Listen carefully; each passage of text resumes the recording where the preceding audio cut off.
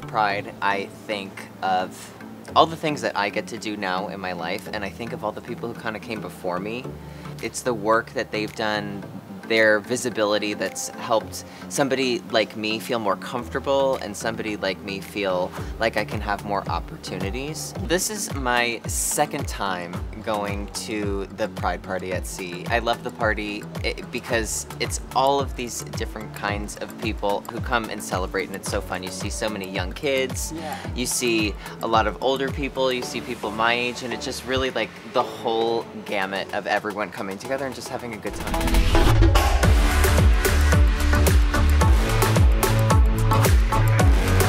Pride to me means walking down the road with my boyfriend, holding hands with him, showing that I love him, and feeling that I can openly express that without feeling like I need to filter myself in any way.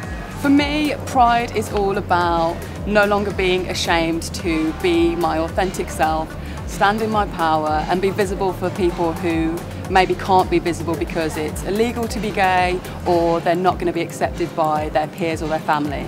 I think for me it's a time of celebration and reflection, celebrating the fact of who I am, the fact that I'm able to kind of be myself and own who I am, and reflection, the fact that not everybody gets to, you know, have the privilege of being out, being out, being queer.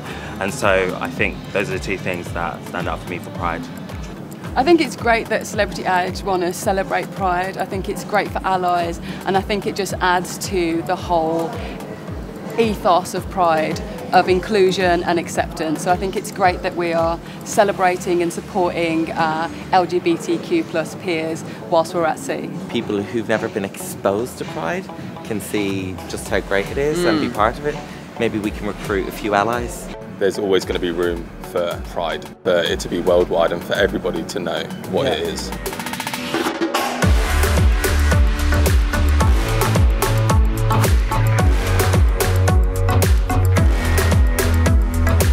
Celebrity Edge has everything. It has great restaurants, it has a great pool, it has a jacuzzi, but my favorite part was meeting some really cool people who are really, really relatable and actually have become really fast friends.